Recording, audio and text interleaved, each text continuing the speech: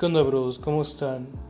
Bueno, pues el motivo de este video es para mostrarles unos paquetes que adquirí en la página de AliExpress, esta famosa página que vende cosas chinas a, pues vaya, un considerable precio, ya que estuve cotizando algunos de esos productos en Mercado Libre y en algunas tiendas de refacciones de motocicletas aquí, y pues vaya, sí estaban algo caros a comparación de el precio que, esta página te ofrece.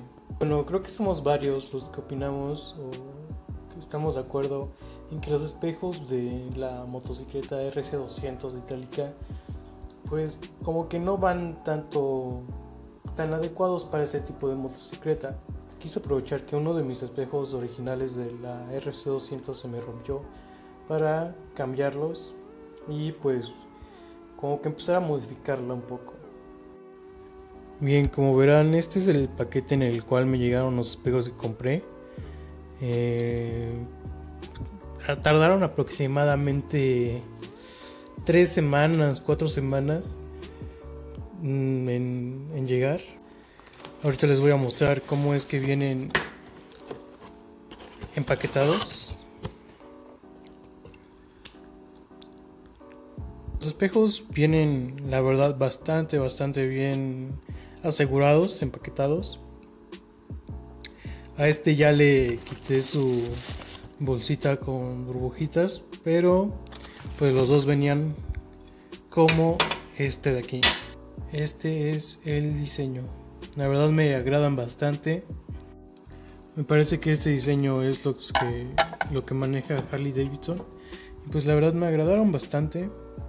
Eh, se ven de un muy buen material. Pues vaya, también el precio, la relación costo-precio, pues creo que están bastante bien. A mí me costaron 670, me parece, ya con el envío y todo.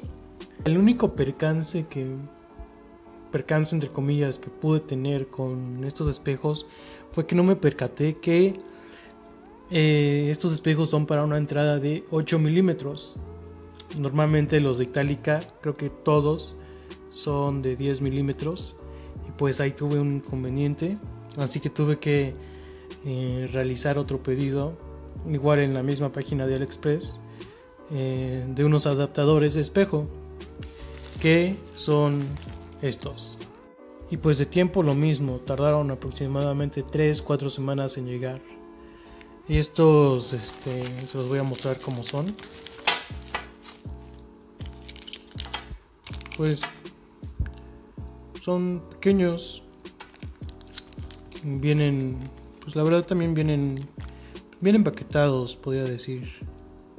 O sea, no es como que sean tan frágiles como los espejos, ¿verdad? Pero pues vienen con su bolsita este, separados y todo, ¿no? Y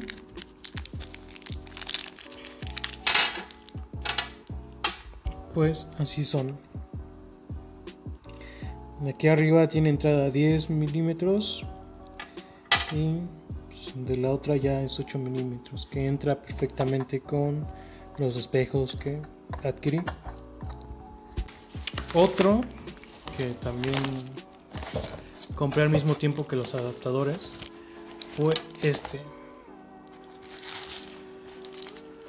Eh, ahorita ya están abiertos y todo, pero los abrí nada más para checarlo pero son unas tiras reflejantes para motocicleta.